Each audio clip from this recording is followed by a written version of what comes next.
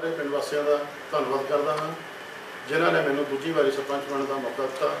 ਜੇ ਸਰਕਾਰ ਕੋਲੋਂ ਅਸੀਂ ਤਾਂ ਆਪਣੇ ਸੀਵਰੇਜ ਵਾਸਤੇ ਮੰਗਿਆ ਸੀ।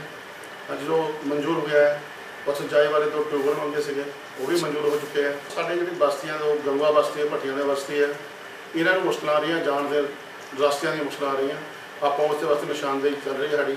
ਜੋ ਸਾਡੀ ਪਹਿਲੀ ਕਬਜ਼ਾ ਕੀਤਾ ਗਿਆ ਹੈ 40 45 ਸਾਲ ਤੋਂ, ਅਸੀਂ ਸਰਕਾਰ ਅੱਗੇ ਬੇਨਤੀ ਕਰਦੇ ਹਾਂ ਕਿ ਸਾਡੀ ਉਹ ਪਹਿਲੀ ਜਿਹੜੀ ਪੰਚਾਇਤ ਦੀ ਛੁਡਾ ਕੇ ਦਿੱਤੀ ਜਾਵੇ ਜੋ ਪਿੰਡ ਵਾਸੀਆਂ ਦੇ ਗੁਜ਼ਾਰੇ ਬਰਸੇ ਕੰਮ ਆ ਸਕੇ। ਪਿੰਡ ਦੇ ਜੋ ਵੀ ਨੌਜਵਾਨ ਪੀੜ੍ਹੀ ਹੈ ਨੌਜਵਾਨ ਲੜਕੇ ਆ ਉਹਨਾਂ ਨੂੰ ਇੱਕ ਬੇਨਤੀ ਕਰਦਾ ਹਾਂ ਨਸ਼ਿਆਂ ਤੋਂ ਹਟ ਕੇ ਪਿੱਛੇ ਆਪਣੇ ਸਪੋਰਟਸ ਵੱਲ ਧਿਆਨ ਦੇਣ। ਬੇਨਤੀ ਕਰਦਾ ਹਾਂ ਜੋ ਸਾਡੇ ਪੜ੍ਹੇ ਲਿਖੇ ਨੌਜਵਾਨ ਨੇ ਇਹਨਾਂ ਨੂੰ ਨੌਕਰੀਆਂ ਦੇਣ ਦੇ ਦੇਣ ਦੀ ਅਸੀਂ ਮੇਰੇ ਪਿੰਡ ਵਾਸੀਆਂ ਨੂੰ 15 ਅਗਸਤ ਦੀ ਆਜ਼ਾਦੀ ਦਿਹਾੜੇ ਤੇ ਸਾਰਿਆਂ ਨੂੰ ਲੱਖ ਲੱਖ ਵਧਾਈ ਹੈ। ਪ੍ਰਧਾਨ ਪਾਲੀ ਪਿੰਡ ਡਾੜਾ ਤੋਂ।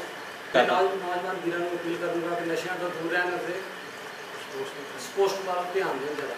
ਬੇਨਤੀ ਆ ਕਿ ਸਾਡੇ ਨੌਜਵਾਨ ਸਾਥੀਆਂ ਨੂੰ ਜ਼ਿਆਦਾ ਤੋਂ ਜ਼ਿਆਦਾ ਰੁਜ਼ਗਾਰ ਦਿੱਤਾ ਜਾਵੇ ਨੌਕਰੀਆਂ ਮਿਲਣ, ਜੋ ਨਸ਼ਿਆਂ ਤੋਂ ਹਟ ਕੇ ਆਪਣੀ ਤਰੱਕੀ ਕਰਨ ਅਤੇ ਜੋਬ ਵੱਲ ਜਾਣ।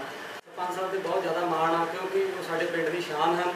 ਉਹਨਾਂ ਨੇ ਜਿਹੜੇ ਵੀ ਪਿੰਡ ਦੇ ਬੁਰੇ ਕੰਮ ਆ, ਮੈਨੂੰ ਉਹਨਾਂ ਤੇ ਬਹੁਤ ਮਾਣ ਆ ਕਿ ਜਿਹੜੇ ਵੀ ਰਹਿੰਦੇ ਕੰਮ ਆ, ਸਾਰੇ ਕਰਾਉਣਗੇ, ਜਿਹੜੇ ਨਹੀਂ, ਕਿਸੇ ਨੇ ਵੀ ਕਰਾਇਆ